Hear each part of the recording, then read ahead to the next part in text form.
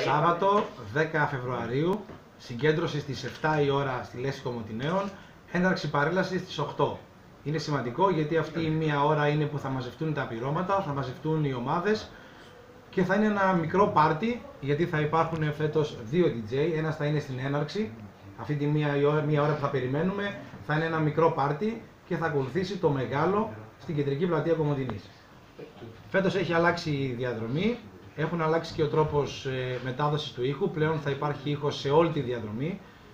Και πάνω εδώ πέρα θα ήθελα να ευχαριστήσω πάρα πολύ τα ραδιόφωνα γιατί χωρίς αυτούς δεν θα μπορούσαμε να ήμασταν καλυμμένοι, το Διάβλο, το Ροδόπι, το Χρόνο και τον Παρατηρητή.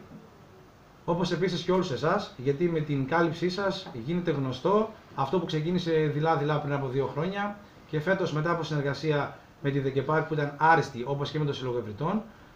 πιστεύω ότι το έχουμε εξελίξει ακόμη ένα βήμα περισσότερο. Η συμμετοχή μέχρι στιγμής είναι 22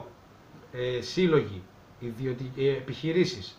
καθώς και οι καφετέριες με στολές, με θέμα και κάποιοι άλλοι σύλλογοι, νομίζω γύρω στους 10, οι οποίοι αυτή τη στιγμή ψάχνουν για θέματα ή θα παρελάσουν ε, ε, χωρίς να έχουν κάποιο συγκεκριμένο θέμα. Όλα βαίνουν πολύ καλά. Ε, η, η κίνηση του κόσμου της Κομωτινής ε, δείχνει ότι το περιμένει, ότι θα το μεγαλώσει αυτό με τα χρόνια